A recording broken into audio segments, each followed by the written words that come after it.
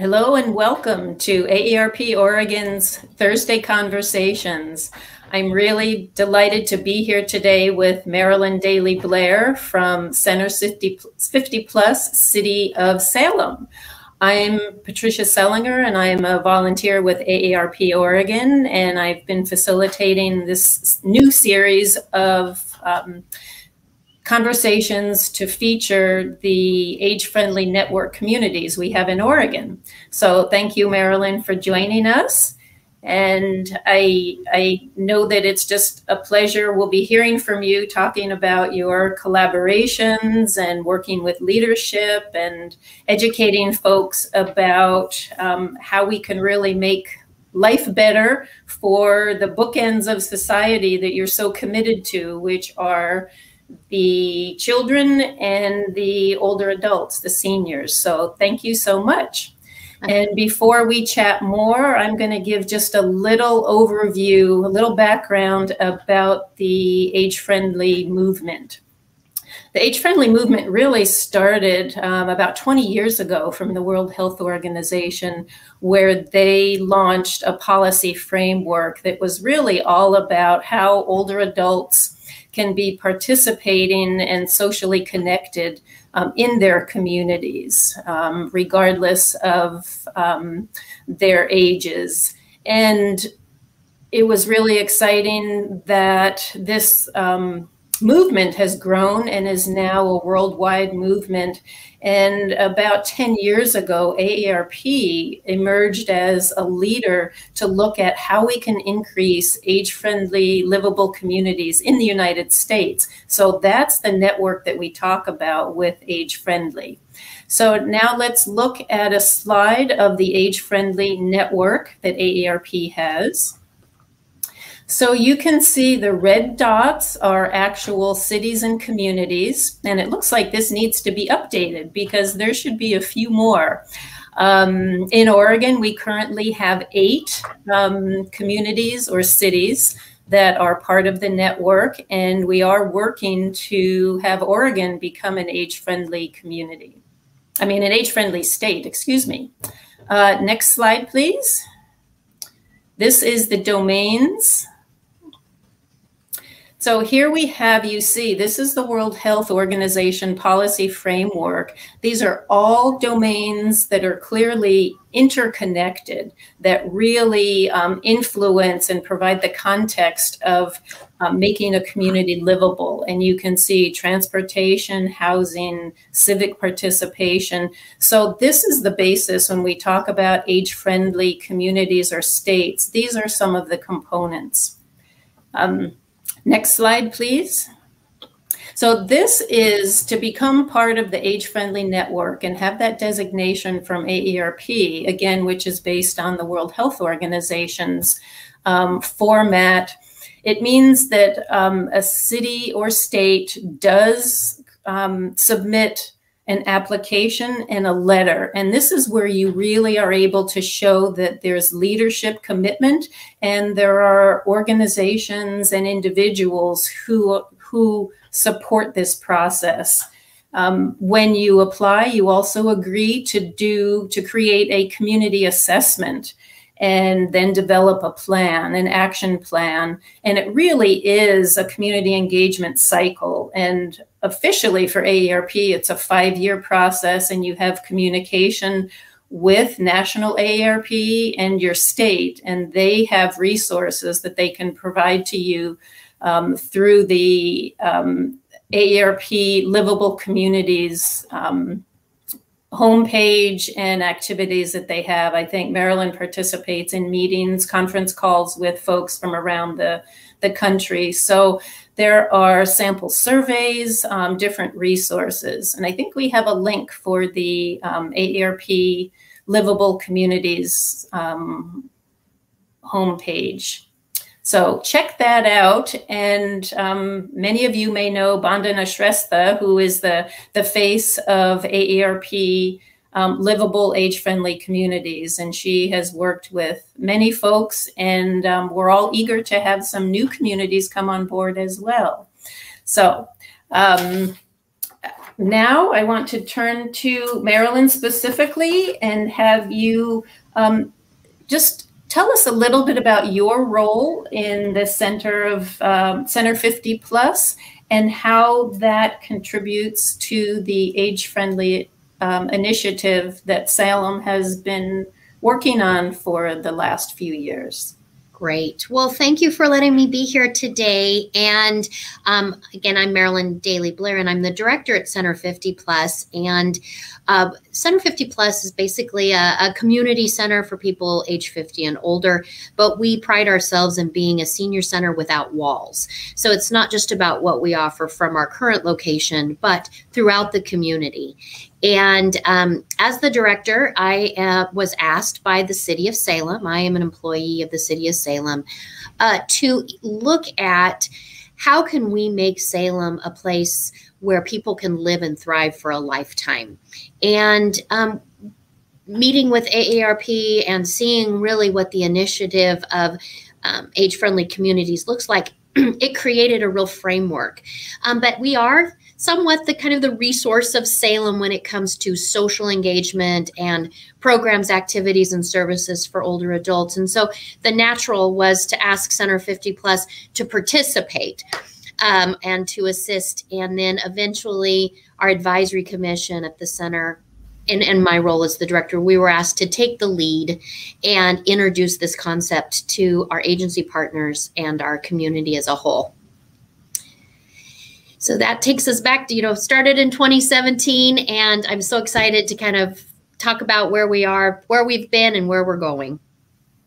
Wonderful. And, and it's, it's so great that really there was a synergy with the, the Salem Senior Center that had a lot of things going as well as the support from the mayor. And it's, um, is that Chuck Bennett. The, That's the right, Mayor, Mayor, Chuck Bennett. And the timing was perfect because he himself uh, is really keen on what does a community need to look like so that he can live and thrive in Salem for the rest of his life. And so he has some personal interest as well as how to make a better community.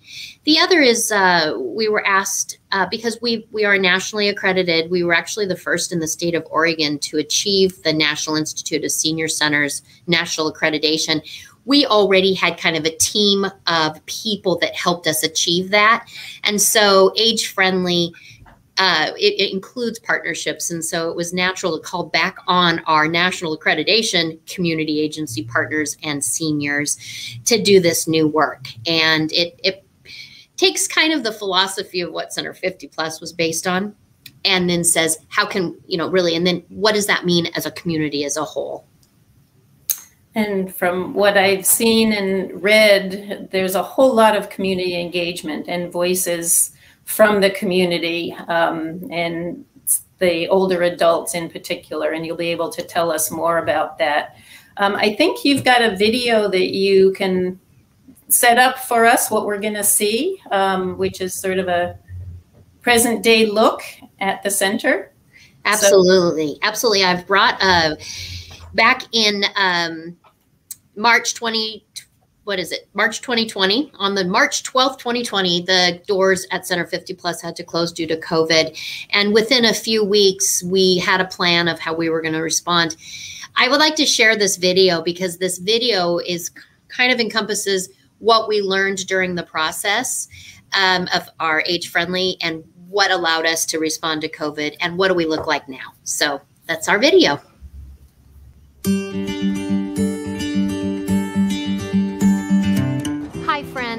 Center 50 Plus. I'm Marilyn Daily Blair, and I'm the director of Center 50 Plus, and we all want you to know that we're thinking of you during this time. And although our building is temporarily closed, our staff and volunteers are still working hard to bring to you the programs, activities, and services that you rely on.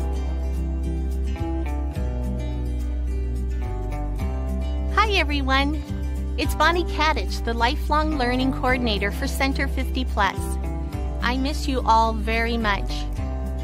Life is different right now, like how I'm having to have morning coffee break with my little dog, or how we are now offering some of our classes online.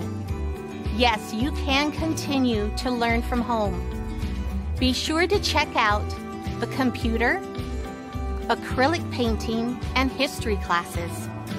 We even have a new way to get together and talk about a good book.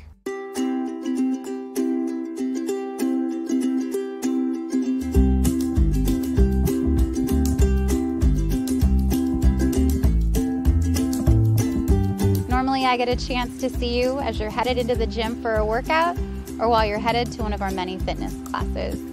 But as you can tell, my office view is a little different these days.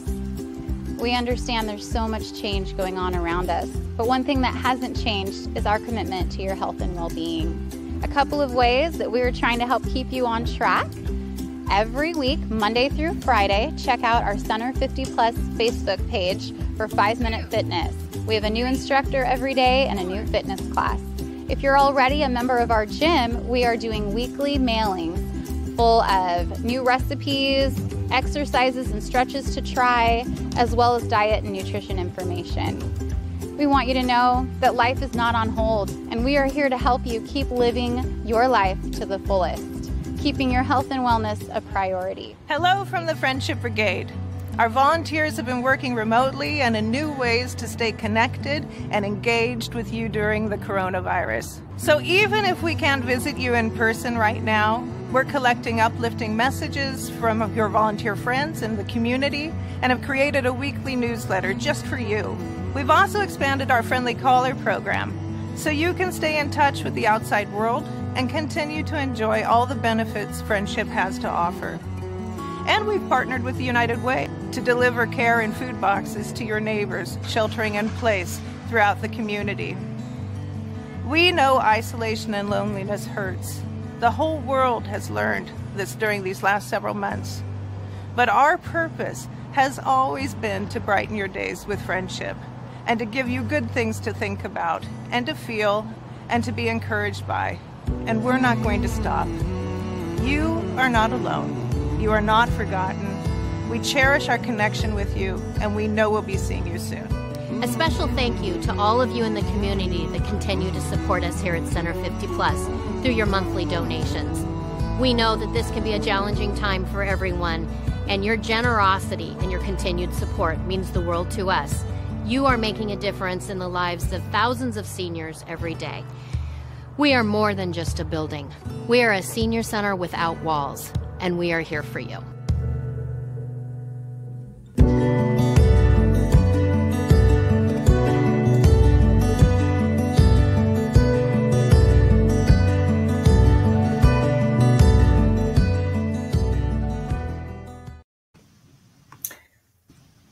Love that. A senior center without walls.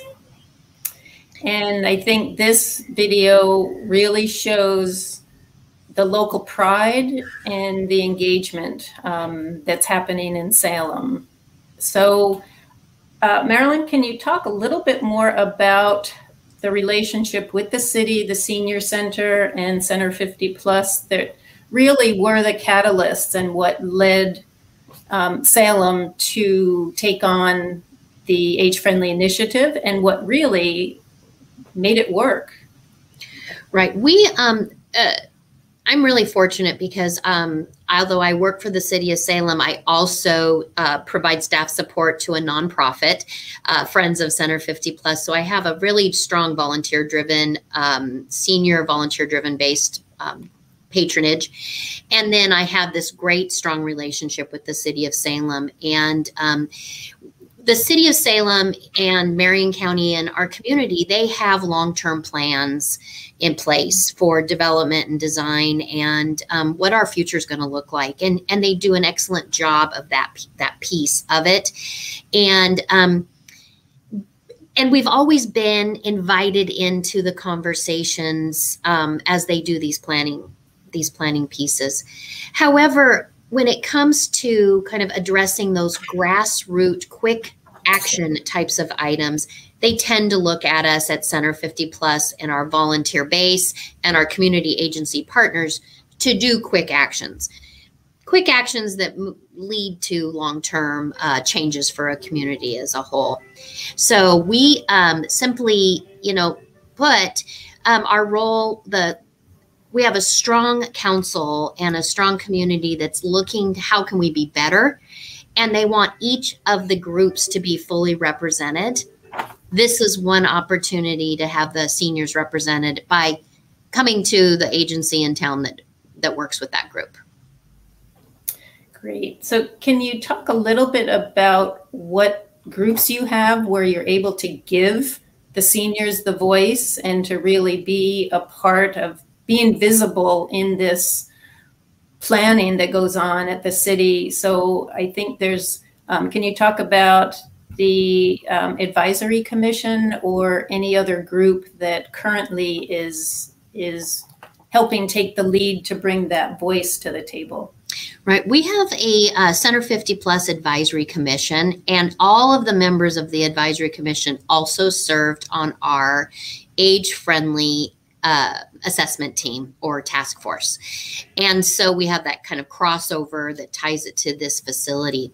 But we, the actual assessment team is made up of agency representatives and seniors. And we have found that members of our assessment team are being asked to serve on committees such as our Salem, uh, which was a major community um, planning document that's being worked on. Uh, we have individuals that have been asked to serve on the climate action planning team representing um, old, the interests of older adults. Mm-hmm. We have walking groups. Uh, like walk uh, walk Salem, we have a variety of um, uh, groups in town that are tackling mobility concerns and and how we can make a they're turning to us and saying we we know we need to have more seniors at the table. We need to have this feedback. Help us connect to someone. Well what's really great is they have this age friendly work that they've been they're they're familiar with best practices now and they can bring that voice to many different groups but, you know, I was just going to say ultimately, the goal of our assessment process was awareness and awakening. And that was to get people thinking in a different way. Uh, every person in the community saw this little poster. What does a city for all ages look like to you? This big six by four display board was at every mm-hmm. event and activity. And we were just asking people, what does an, a community look like to you now, but what do you want it to look like when you retire here or when you age here? And um, we've been, that was really an education because it was about saying, have you stopped and considered an older adult in the decisions you make, whether it's in your job or in your neighborhood or how you vote? All those things. Do you ever pause and think about an older adult? That was our mm-hmm. first goal of the entire process was awareness and awakening that we do have some uh, needs and interests that need to be discussed. And the assessment team kind of gave the community a grab bag of people that were ready, educated, and willing to give feedback. Sounds like they were very successful in uh, their work. So now they're at the table, and um, that's that's wonderful. So let's talk a little bit about the um, the community assessment process because I was really impressed with looking at the report and the cover that you just saw. Um, for all people is the cover of the assessment report that you can find online. Um, and one of the first steps, if I understand it, was there was a community forum, and I was thrilled to to read and it focused on what do you love about your city? What do you love about your community? It didn't start with what we don't like. It was really framed positively. And then it went into community meetings and conversations about what are some barriers and then um, possible activities for consideration. So to me, have a history of having looked at a lot of plans that come from a community engagement process. This one's really user friendly and lots of lists and things. And I really encourage folks to check it out. Um, it, it, does live on the City of Salem um, Age Friendly Initiative um, homepage. So, um, what can you say about that process, Marilyn? Because the end result is very user friendly and grassroots driven, as well as organizational visibility. Um, it's very impressive.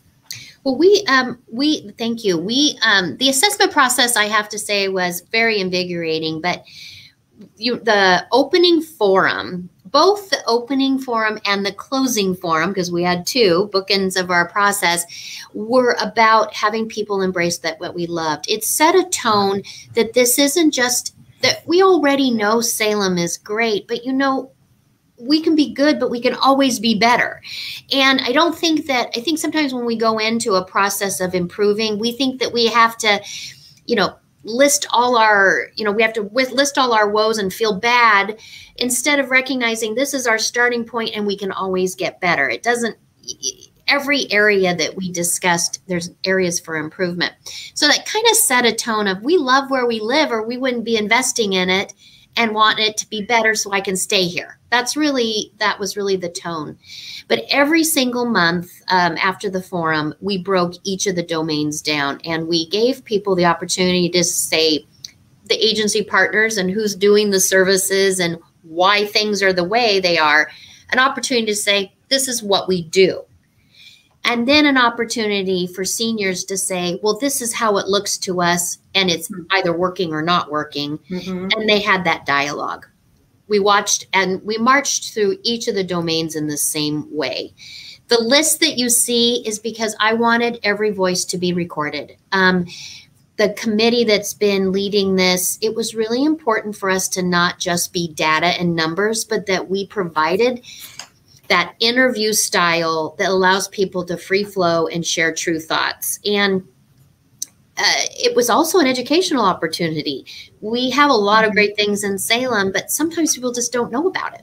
So that's really what our assessment was about. It was educating on what is there, identifying how it is or isn't working, and then coming up with an action, some recommendations for the action team. So um, I would say that I love our process because we took our time. Uh, we invited lots in, and we we we reached we went out into the community and just asked questions on a regular basis. Yeah, I, I love that, and and you you did take a full year plus, and if I look at the calendar, um, I think that report assessment report came out maybe middle of 2019 or something and then just thinking of the dates where that's just piggybacking right on um, covid when all of a sudden you were dealing with the pandemic. Um, so if you can talk a little bit about what action steps were taken back in 2019 and i think there are some action teams or something you might be able to tell us about and then you can launch into the natural progression of 2020 which we saw the film, but um, how, what's the status of age friendly given where you were and now where you are now? Right.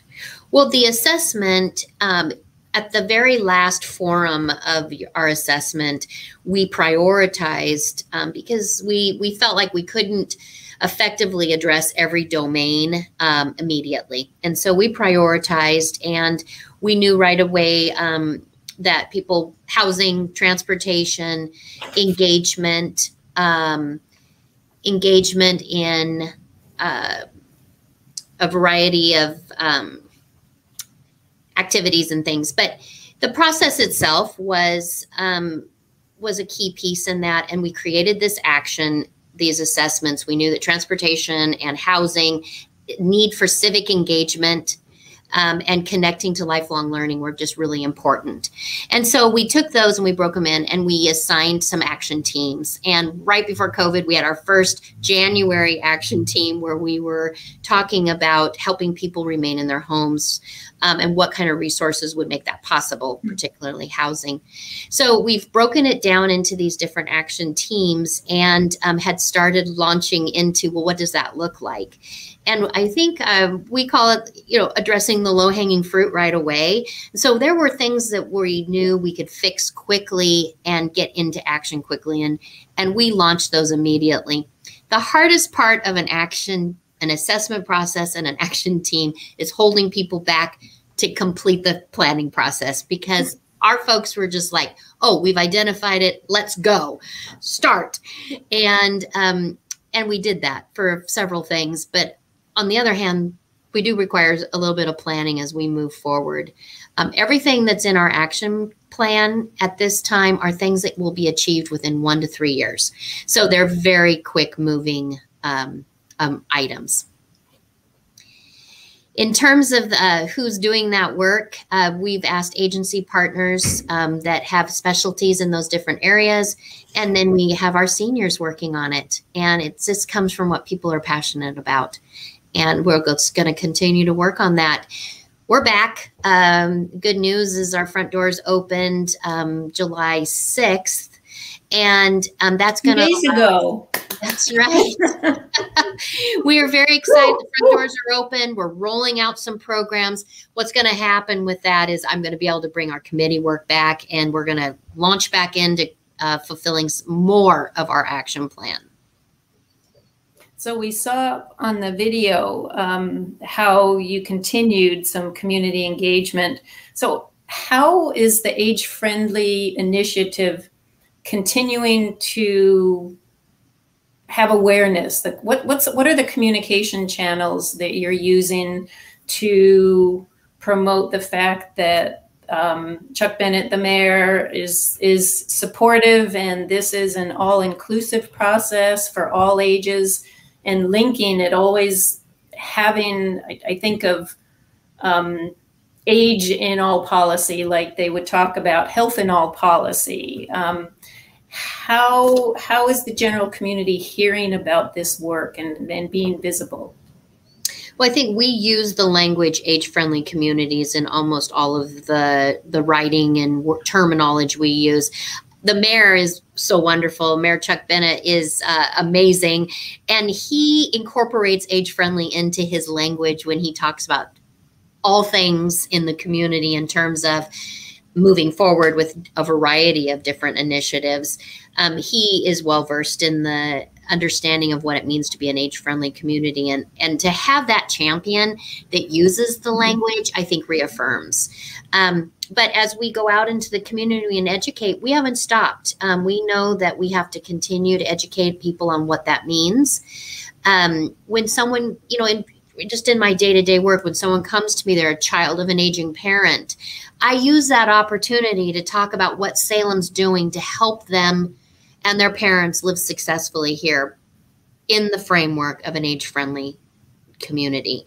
The framework that comes with age friendly, I think, is um, it, it, it just it gives that that terminology, but also that framework for people in small bites of information. Um, it gives us a driving force and helps us have that knowledge that we need.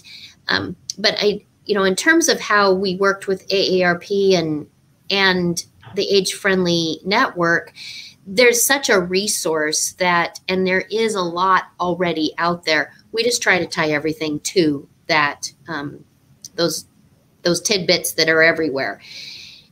It, you, we just can't let up on what it means to be an age friendly community when we talk with children's groups or college groups or people of all ages, we get them to think about long term planning for themselves as well as what that means for them in their neighborhood.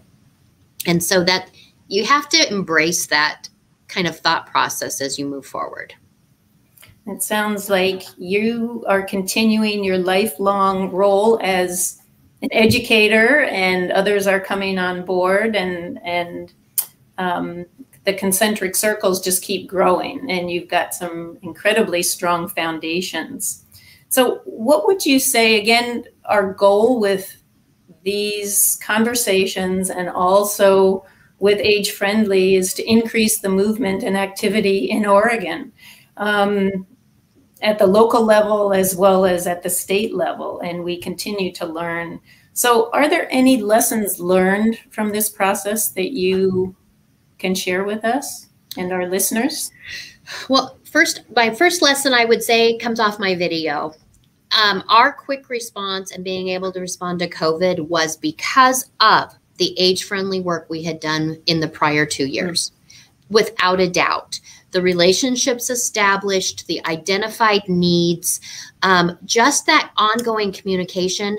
I didn't have anyone to convince when March 20th, 20th came that, or, or yeah, March 2020 came that we had a role and a responsibility to older adults. It was already, without any doubt, you know, people went into action. And I think that that preliminary work is so important as we address our futures as communities as a whole to have those conversations early on.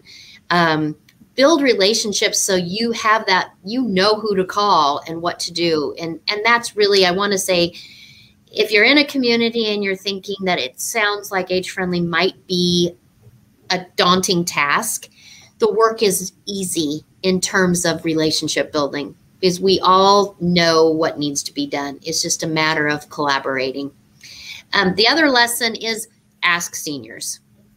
Um, I I have battled for many for almost my whole career um, that idea that we can we know what's best for other people, and that that the experts know what's best for everyone, and that we learned through our process that that voice of the seniors and living in this community and knowing things that we don't see through the eyes of maybe a, an, a professional or a, a young person, um, you miss a lot of that information. And it's a fun dialogue. It's fun to walk in the shoes of someone else and, and understand what their needs and interests are. So be sure to carve a space um, I know it's more efficient to some to just have a small meeting with your six professionals that know street widths and treescapes. But there's a big difference um, when you hear it from the person that's walking in those shoes. So carve a space and make sure that they're the lead. Um, for us, that was so important because everything we're operating and and putting into our action plan, uh, I don't have any more money to do it. So our action plan is filled with things that either are free or have minimal budget impact. And that means it has to be volunteer driven and grassroots designed. And um, so, you know, recognize that a lot can get done even if you don't have a big budget and even if you're not a big part of a big uh, community or a city. For us, many of the things we're doing, uh, we could do in a, in a small town or we could do anywhere because they're not high, um, you know, they're not a part of the large design plans. However, every little thing we're doing is getting noticed and then eventually becoming a part of the long-term plan. But it, it's it's kind of a process, and I show I like to show little wins. I like our action team to be giving been being given little wins and successful activity because that's what creates that domino effect and you start moving to towards those larger initiatives. And then um, you know, and the and the third is don't forget to ask the young, you know, your your youth uh, in your process because we're not just planning for today, but we're also planning for many years from now and um, it's really good to to bring those generations together. So I and then my final key is always provide food. so if you want to have a good meeting uh, with seniors, uh, be sure to you have your your tasty food for everybody. And then make sure, you know, as you're looking for, I, I wish that I had done more video and gathered stories mm-hmm. in a little bit deeper way uh, to broadcast for everyone. Um, you get so wrapped up in the details of note taking that sometimes you you forget to really capture the essence of that story. And, um, those stories are really what framed uh, the end results for us. Um, so have a camera, make sure you film it, and uh, mm-hmm. uh, don't forget the seniors or at least pictures, if not video. That's right. yeah, no, th- those are all great points. And it just makes me think that it's all about the community engagement and the visibility um, and little steps.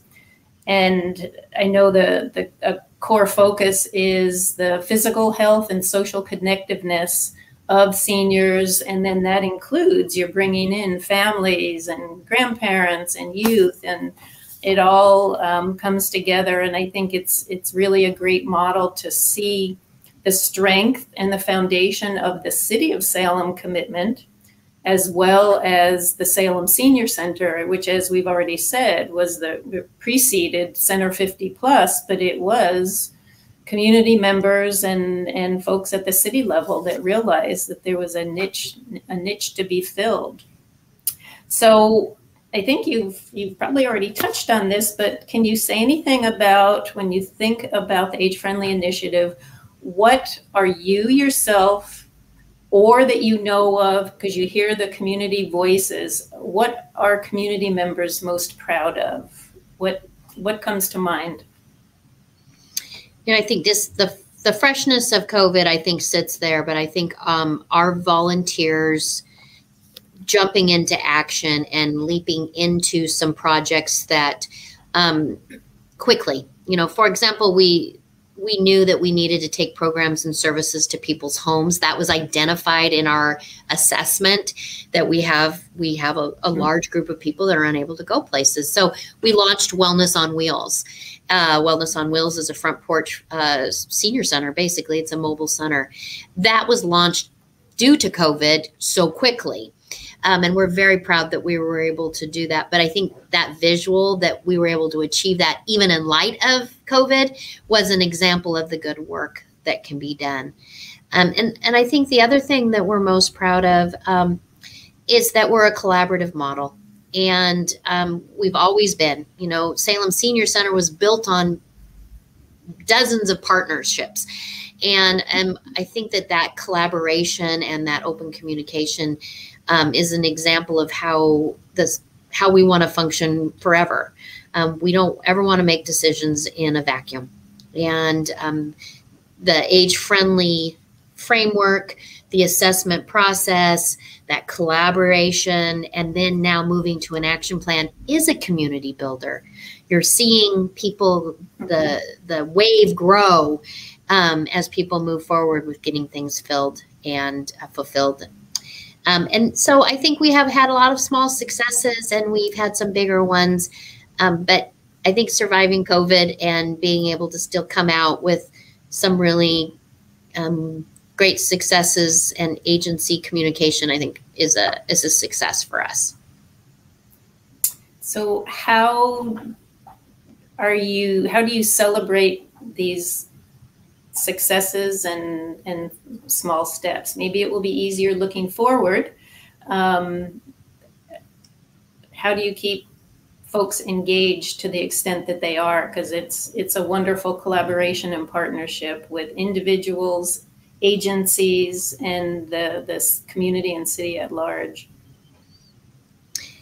The the celebrations come from just accomplishing something you know, early on when we started our conversations, I had some, um, you know, I had elderly folks that attended the the meetings, and they said, well, they were kind of disheartened because many of the things they're asked about aren't going to take place for 25, 30 years, 20 to 30 years, and I that quickly told me that people wanted to be a part of movement. And so the wins come from seeing movement, and we then celebrate with the mayor acknowledging a movement that's been successful or a community recognition. And, or, you know, if we make the newspaper, the front page of the newspaper, our whole team of volunteers and assessment members are proud because they mm-hmm. know that they were a part of that.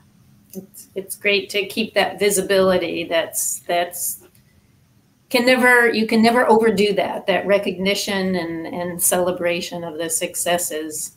So what are you most excited about looking forward? I think the bringing these the bringing the action team uh, specialized action teams back together again addressing moving forward with some of the plans that started in the last year but we want to um, solidify and secure, you know, not just a reaction to what's been happening in the world, but now this is an ongoing program. That will be something I'm looking forward to. Um, I'm really looking forward to seeing um, our community partners and what they're going to be doing. And then, of course, we have some cool things happening. Uh, we're launching our age friendly business certification program. So, educating businesses on how to provide age friendly services. And um, that's going, that's, that's in the new year. So, we're excited about that.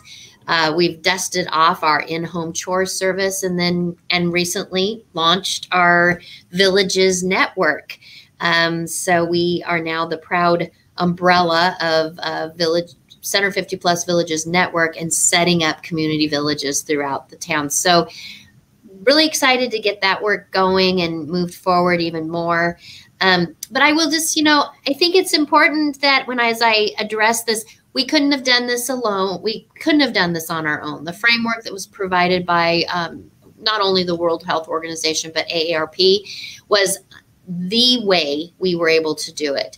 Uh, we don't have resources for data gathering. We didn't have survey materials. All of that came from AARP. And then the ongoing support and um, training and conversations that came not only from our state office, but from the community is why we were able to do it. You know, in addition to running the center, I was also doing age friendly work. And so, um, if I hadn't had those resources, we wouldn't have been able to accomplish what we did. So I think, you know, kudos to AARP, especially AARP Oregon, for the great work they do in supporting communities of all sizes in um, identifying needs and moving to an assessment uh, process and moving to an action plan. So thank you. Well, thank you for giving AARP kudos because it's it is a, a a project and initiative that they're very very committed to and i think it's important just to point out i know just like myself that folks are just um, awed by by the experiences and stories that you're sharing and i just want to say that um, even for communities that don't have as much the process of, of hearing Marilyn talk about the relationships and getting the senior voices and things, you can take some steps and get started and not have to feel that that you have to be able to address and have a plan immediately. That's what the whole age friendly initiative is, is find some people who are committed, find some champions and get them around the table and start a process. And um, and have that move forward. So I just, I, I, I think it's it's wonderful, and I just want to make sure that folks don't think, well, we don't have what Salem has. Um, I think there's there's opportunity, and you see one age-friendly community initiative process, and you've seen one because each one is is tailored based on their their community and their organization. So, so thank you for that. Um, any final tips of what you might say to others. I'm sort of giving this plug of, of encouraging folks to think about it for their community and who might be part of that initial conversation. Anything you want to say to folks listening? Absolutely. You know, I, I, I want to just piggyback on what you said. That is so true any community of any size can can start this process and it's not a start and finish process it is a living document and you, it grows and changes as your community grows and changes and that is I think that's really important when you are setting the tone for speaking to people that you are working towards being an age friendly community and that um, people want to be you want people to be fluid and and open to ongoing dialogue and conversation it's not really just about actions it's actually a philosophical approach to mm-hmm. how we live in our communities mm-hmm. and i will also say that uh, we did get a bench put um, a uh, little bench was put on one of the bus stops that only it didn't have a cover before and now it does and that got more cheers and happiness than some of these bigger initiatives that we've launched. So celebrate them because the truth of the matter is it's those little things that make quality of life for people. And we sometimes that gets muddied in the big picture. Mm-hmm. So, um, you know, I just encourage anyone. And of course, you know, I always encourage people to uh, jump onto these conversations, but also reach out to other age friendly communities. We're proud of the work we do and we love talking about it. And so don't ever hesitate to reach out uh, to other age friendly communities that are doing the work because we've probably heard it, seen it, or felt it at some mm-hmm. point and love to talk about it. Great. And I'm picturing folks sitting on their little bus bus seat and smiling, people of all ages. that is right. Um, so thank you so much, Marilyn, and and I appreciate the shout out that you know you would can talk to others too. So um, we look forward to staying in touch and and more connection between some of our our other um, Oregon network members.